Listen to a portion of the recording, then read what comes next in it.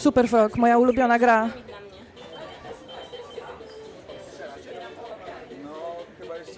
Pamiętam te reklamy. Chroń wzrok, kup przedłużacz do joysticka, żeby siedzieć dalej od telewizora.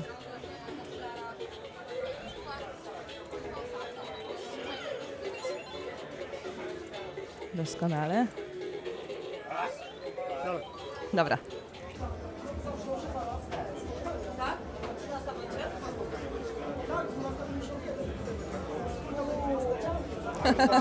Musimy się przepchać naprzód.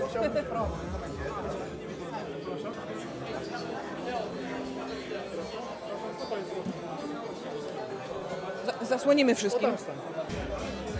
Tutaj za chwilę zacznie się, e, zaczną się wywiady z ludźmi z Top Secretu, Secret Service'u, Commodore and Amiga i ogólnie ludźmi, którzy byli na scenie i tworzyli kulturę starych komputerów, sensie wszystko wokół całą prasę, a w międzyczasie oglądamy sobie na big screenie bardzo, bardzo starą grę. Tutaj mamy za- zakątek starych komodorów, coś pięknego i niedrogo, znaczy w tej chwili to nawet drogo, wtedy było drogo. Organizatorzy obiecują, że wszystkie są sprawne. I większość tak wygląda.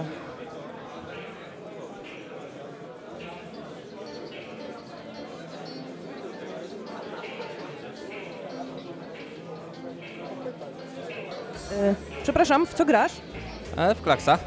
Znakomita gierka. E, To, to, twój, to, twój, to twoja, twój własny komputer, przyniosłeś go tutaj? Nie, nie, ja tu gościnnie akurat. Okej, a jaka była pierwsza gra, w którą grałeś, którą zapamiętałeś? Pierwsza?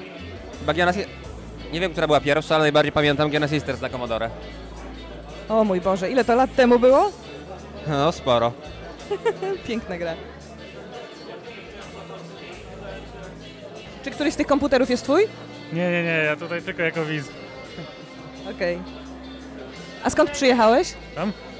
Skąd, przy, skąd przyjechałeś? Ja z Warszawy jestem, także A, miałeś blisko. A y, czego szukasz na Pixel Heaven? Co, co chcesz zobaczyć?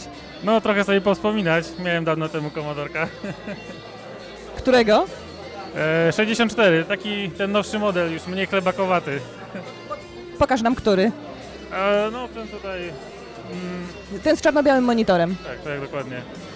na którym grają we Flimbo Quest. To jest strasznie słabo słychać.